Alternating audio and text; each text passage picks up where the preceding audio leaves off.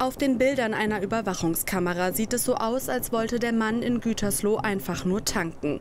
Aber plötzlich bricht ein Feuer aus. Der Fahrer läuft in den Flammen davon.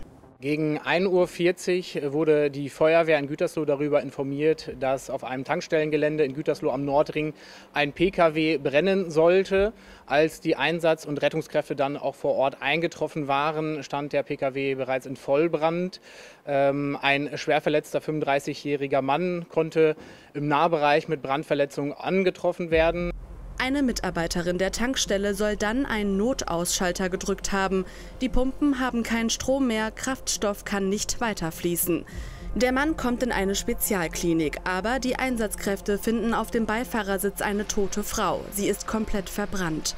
Die Identität ist noch unklar, es handelt sich aber wahrscheinlich um die 28-jährige Ehefrau des verletzten Mannes. Beide haben die ukrainische Staatsangehörigkeit. Die Hintergründe sind noch völlig unklar. Die Ermittlungen, die in Gütersloh angelaufen sind, sind dann im Laufe des Vormittages äh, durch die Bielefelder Kollegen, durch die Mordkommission Nord übernommen worden, werden fortgeführt, äh, da zum gegenwärtigen Zeitpunkt nicht ausgeschlossen werden kann, dass es sich auch unter Umständen um ein Tötungsdelikt handelt. Ähm, gleichwohl wird natürlich auch in Betracht gezogen, dass es ein Unglücksfall sein könnte. Ähm, da müssen wir tatsächlich jetzt einfach den Ermittlern etwas Zeit geben, Informationen zu verdichten, um da dann ähm, eine Klarheit zu schaffen, äh, die äh, tragfähig ist. Auch heute steht das ausgebrannte Auto noch an der Tankstelle, verdeckt von Sichtschutzwänden. Die Leiche wird am frühen Nachmittag abtransportiert. Sie soll morgen obduziert werden.